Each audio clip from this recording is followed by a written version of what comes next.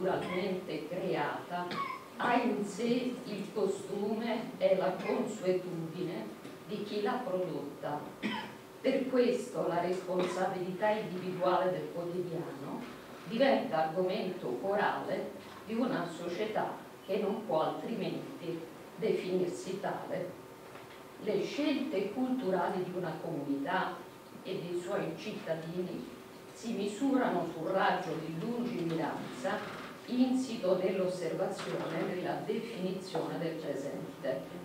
Lo sguardo superficiale a un tempo breve genera cultura che dura poco, consumistica, una cultura usa e getta. La riflessione sul futuro è un doveroso disegno di vita. Lo sguardo di un artista o di un autore che applica una trasformazione creativa di una cosa è ciò che può svelare la strada a ciechi viaggiatori erranti. L'analisi intellettuale di un artista si basa spesso sulla verità di concetti e dogmi che altri rifiutano, talvolta disprezzano, quantomeno non considerano la funzione di comunicatori del sociale è devoluta e consacrata alla loro sensibilità. L'impazzita economia patologica ha un antidoto infallibile nel genio creativo umano. La nostra casa comune va tutelata attraverso scelte culturali che sono alla portata di tutti, basta un minimo di conoscenza o semplicemente un'attenzione. Ogni individuo è protagonista delle proprie azioni e le azioni senza coscienza non sono specificatamente umane. Se ogni individuo ha un'essenza, essa appare in ogni singola azione e se l'azione genera una cosa, l'essenza stessa trasla nella cosa. La cosa quindi ha un'essenza, o meglio un'etica. Una cultura usa e getta. Non dobbiamo assolutamente creare questo tipo di città. La nostra città è composta da cose e da uomini e da persone. Questa è la città io a marzo ho proposto al comune di Albano un evento dal nome L'etica di una cosa e esattamente si è svolto in, una, in un bellissimo posto che è l'ex chiesa di Santa Maria delle Grazie, sconsacrata quindi, dove abbiamo eh, composto una tre giorni molto dinamica. Ho diretto questo, questo evento con un carattere espositivo e perform performativo, nonché di laboratori e dibattiti sull'ambiente attraverso l'arte, l'artigianato, il design, gli ornamenti da indosso, quindi attraverso la creatività umana, il passaggio attraverso gli artisti sulla riflessione ambientale e cittadina, perché no, cittadina. Gli autori partecipanti a questo, a questo evento artistico ambientale erano degli artisti di arte contemporanea, quindi arti visive, lui si chiama Alessandro Nicola ed è uno scultore, tutti loro partecipavano con delle creazioni, con delle opere assolutamente tutte composte con materiale di riciclo. Quindi Alessandro Nicola, uno scultore, ancora un altro scultore, purtroppo la foto è un po' scura, quindi non si vede molto bene, comunque un altro scultore che riesce con dei rottami, si chiama Alessio Veli, riesce con dei rottami a comporre delle forme di stampo classicistico estremamente garbato. Andiamo ancora avanti. In arte Caracol, Eleonora Battaglia è una creatrice veneta che ha partecipato con questi suoi ornamenti da indosso e bijou, abbiamo allestito un altare intero dedicato a lei, ai suoi anelli, alle sue collane e alla sua cinta, questa era una cinta composta ovviamente esclusivamente con dei pezzi di stoffa da riciclo. Andiamo ancora avanti. Le ecocentriche sono due creative, due designer, noi contemporanei che lavorano tra Roma e Castelli Romani, hanno i loro studi e compongono le, i loro oggetti di design con il cartone principalmente, quindi con il cartone creano eh, questa poltrona come state vedendo. Andiamo avanti. Evasiva sono tre ragazze giovanissime, una grafica, una designer, una eh, delle arti visive, una creativa, che si sono unite per creare dei bijou con dei materiali vari. In questo caso sono collana composta da palloncini gonfiati. Andiamo ancora avanti.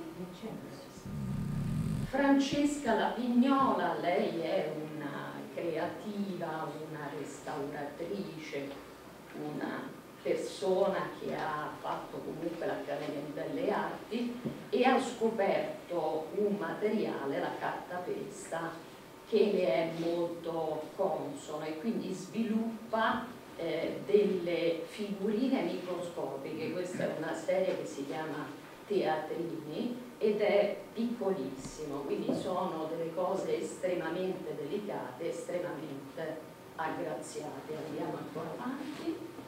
Lui è Francesco Varesano, era, queste erano delle lettere composte con un, eh, un materiale creato da scarti di cartone, di gesso insieme e poi amalgamate, quindi un, un lavoro estremamente complesso. Andiamo avanti. Gino Casavecchia, un designer, aveva allestito qui eh, un particolare dei suoi piatti in pietra, aveva allestito un'ultima cena all'interno di una cappella dell'ex chiesa di Santa Maria delle Grazie con questi piatti, questa tavola apparecchiata con questi piatti eh, utilizzando della, della, pietra trovata in strada in natura. Andiamo avanti. Raffaella Riccio è una stilista eh, che compone i suoi abiti con materiale di riciclo, principalmente la plastica, questa regale eh, rappresentazione di donna è eh, vestita con dei sacchetti dell'immondizia, quindi tutto il suo vestito è qualcosa che eh, contrastava molto con l'evento, con l'arte alta, con l'estetica, con la bella arte e quindi la scelta di metterla proprio anche nel manifesto, nel catalogo che prima abbiamo passato. Andiamo ancora avanti, Paolo Viterbini, un eh, artista locale